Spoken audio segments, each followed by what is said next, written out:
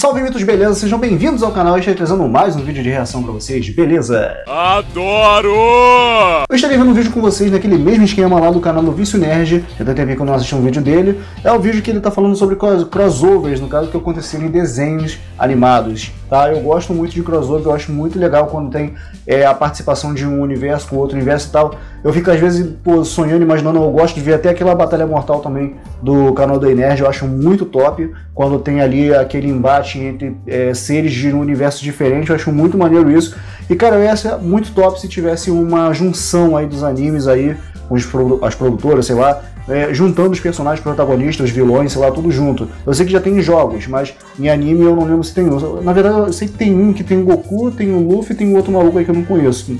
É o crossover que eu me lembro que eu ainda não assisti, tá? Mas, pô, podia fazer uma coisa bem mais, assim, sabe? Cheio de personagem, pô, foi muito maneiro. Mas eu estarei vendo com vocês esse vídeo agora naquele mesmo esquema pra vocês verem minhas reações. Então, deixando seu like bem esperto pra ajudar o negão, se inscreva no canal, ative o sininho. Se você é novo ou nova no canal, sejam bem-vindos. Ai, que delícia! Reiter já sabe o esquema, espara do negão tá aqui pra você beijar à vontade, continuar sentadinho me dando visualizações e depois disso você se levanta e vai dar aquela nadada com o tubarão. olha, eu tenho que agradecer novamente aos haters porque o tubarão ele estava faminto, né? Porque você sabe, né? Comida de tubarão é difícil de achar, nessa quarentena aí que tá né, no mundo todo, é meio difícil, né? De ficar comprando as coisas, então olha. Muito obrigado por aparecer e falar bosta aí nos comentários. O tubarão chega a estar tá gordinho. Sem enrolação sem demora, bora por o que interessa direto para o react, é claro, depois da nossa vinheta. Valeu!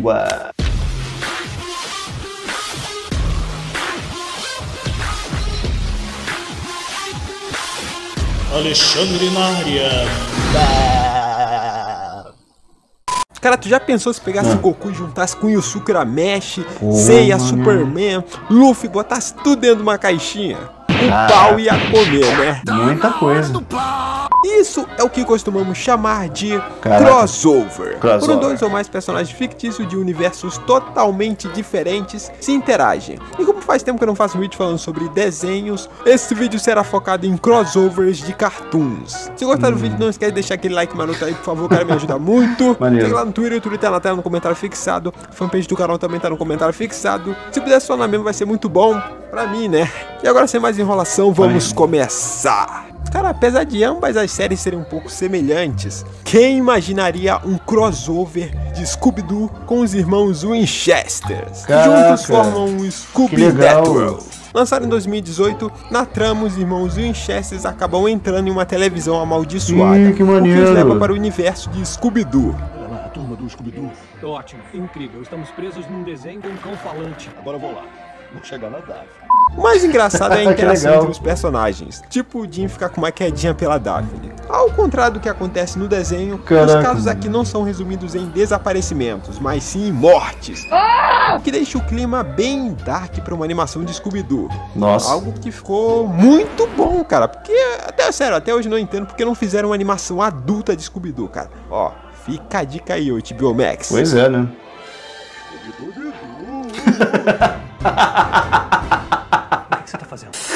Cara, na moral, eu gostava muito de Sobrenatural, cara. Eu, eu parei de assistir depois do.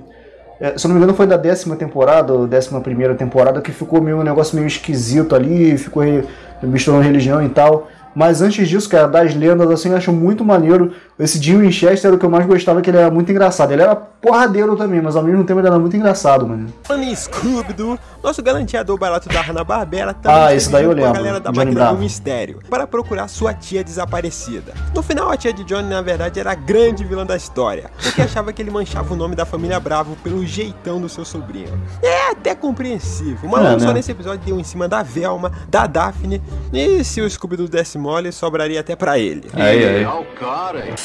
Alguém aí se lembra dessa abertura?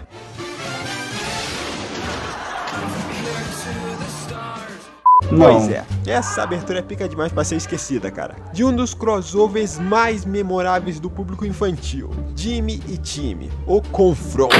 Lançado em 2014, um especial que misturava magia e ciência, 2D e 3D, com os protagonistas de Os Padrinhos Mágicos eu conheço esses desenhos aí, beleza? Só para vocês entenderem, tá? Eu conheço Padrinhos Mágicos e também o Jimmy, mas eu, o Jimmy eu não gostava tanto. É, eu gostava mais dos Padrinhos Mágicos, mas essa animação aqui eu não cheguei a ver esse crossover, nem sabia, bem legal. Trocando de papel com Jimmy Neutro. Chega! Essa não, esse universo aumenta os meus O mais engraçado é que aqui no Brasil, na época, os Padrinhos Mágicos passavam na Disney, enquanto o Jimmy passava na Nick. E aí do nada rola um crossover com dois desenhos de duas emissoras concorrentes, eu fiquei tipo, caraca, mané! Sendo que depois eu descobri que era só aqui que passava na Disney e que os Padrinhos Mágicos sempre foi da Nick. É, tá bom. Cara, na moral, que saudade da época que Ben 10 era desenho de macho. É. Sério. É. Hoje em dia não, hoje em dia virou desenho pra Desenho de gazela, né? Aliás, que saudade da época que o Cartoon fazia desenho pra macho, né? Pô, Justiça é. Jovem, Thundercats, Mutante Rex, cara. Esse Mutante Rex é maneiro. desenho pica, Eu lembro cara. que teve uma, uma, um crossover do Mutante Rex com o Ben 10. Eu acho que é esse daí que ele deve falar, que ele mostrou os dois agora aí. Deve ser esse. Que, que tem na capa, né, da thumb dele, deve ser isso aí. Já hoje em dia não, hoje em dia é só aquela comédia coloridinha, né? e é por isso que eu não posso deixar de lado esse crossover de dois heróis que É, marcaram os últimos momentos que esse canal prestava. Ben É. 10 e Mutante Rex. Heróis Unidos. Caraca. Lançado em 2011, o encontro dos dois heróis Eu achei muito maneiro. quando, sem querer, um portal trouxe Ben do universo dele e não parar no universo de Rex. Graças à capacidade do seu Omnitrix em poder se transformar em vários aliens bizarros, Ben é acidentalmente confundido num Evo por Rex, o que faz os dois entrarem em uma batalha frenética. Agora eu, Kevin, agora somos encanadores. Encanadores. E eu que achava que Providência era um nome bobo. Um detalhe que vale destacar é como o traço do Mendes ficou mais irado nesse especial, cara. É, verdade. Pena que depois eles cagaram tudo. Poxa, cara, Mas que ainda merda. falando em heróis, temos ele. Super Hero Static Shock. Muito maneiro.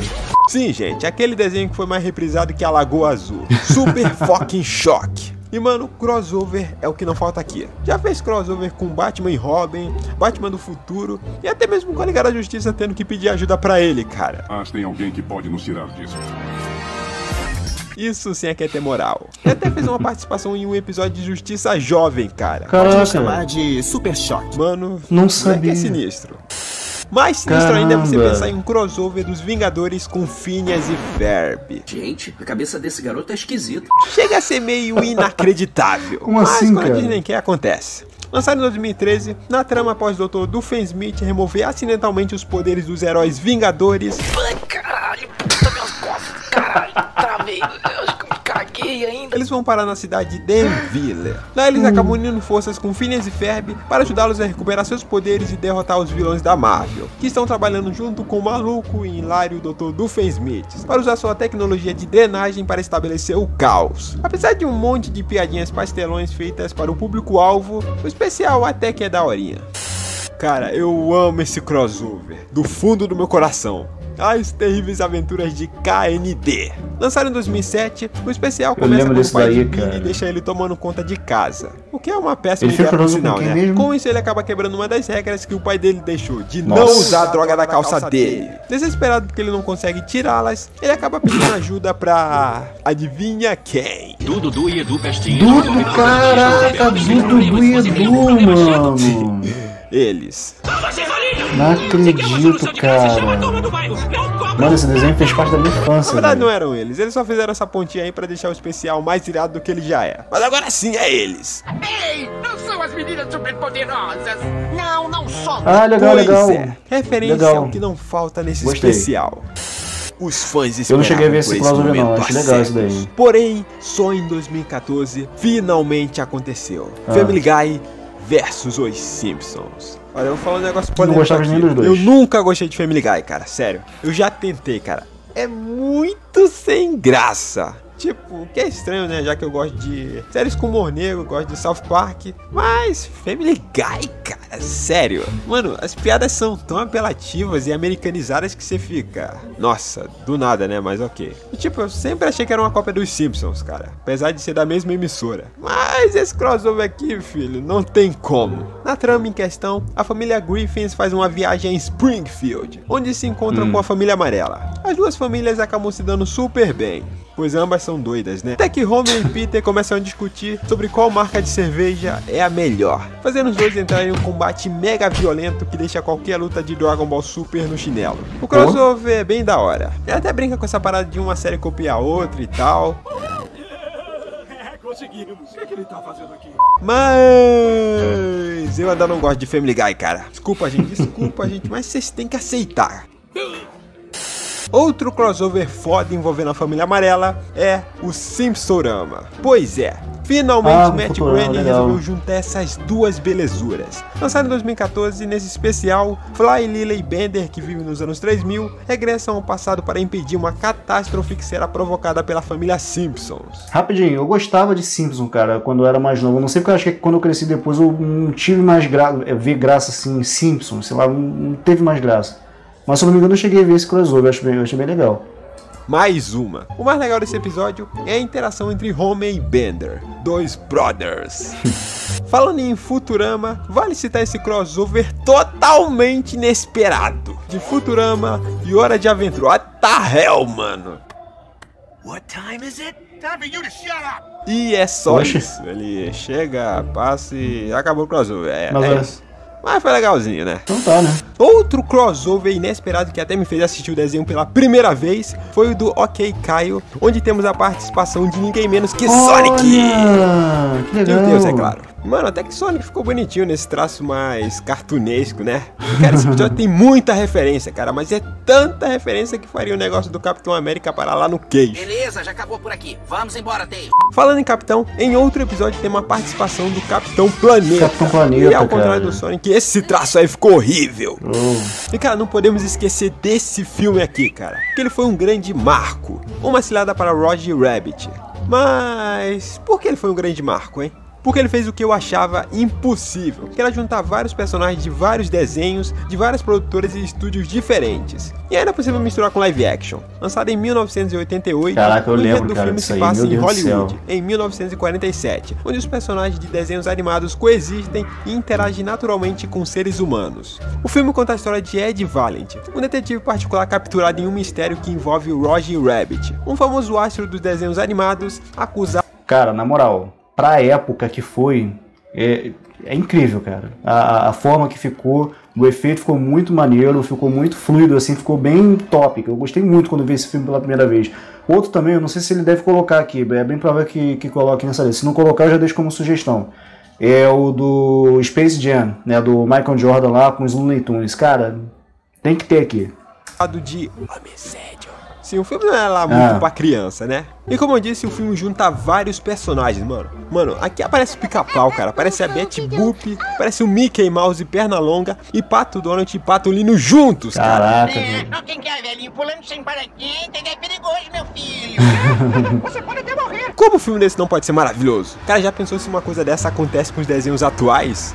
Ah, eu duvido, cara, eu duvido. Uma coisa dessa não acontece duas vezes. Hoje é muita vida. Nutella. Mas agora eu quero saber de você, cara. O que, que você Ah, acha? O que achou desses poxa, faltou crossovers? Já assistiu Jam. algum deles? Conhece outro crossover que eu não citei nesse vídeo? Comenta aqui embaixo. Space Jam. Galera, valeu, vou ficando por aqui e até o próximo vídeo. Meu Deus, tô paraplégico. É isso aí, amigos. Esse foi o Vício Nerd pra vocês. Eu espero que vocês tenham curtido o React, também os comentários que eu cheguei a fazer aqui. Se vocês concordam também com o Space Jam aqui ser um crossover, eu acredito que vocês concordem, né? Porque não tem como, né? O mundo dos humanos, no caso nós, com os Looney Tunes. E, cara, quando eu vi esse filme pela primeira vez, meu Deus, eu fiquei viajando na maionese. Como eu queria conhecer os Looney Tunes, cara. Eu amava eles quando era pequeno. Mas, enfim. Eu vou ficando por aqui. Muito obrigado a todos. O vídeo, o link, melhor dizendo, desse vídeo que eu acabei de assistir.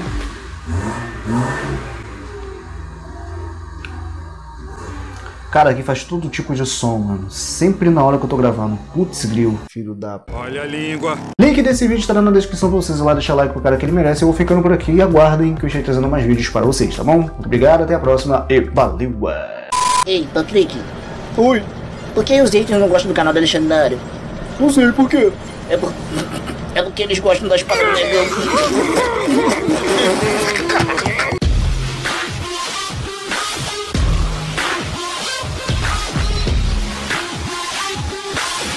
Alexandre na.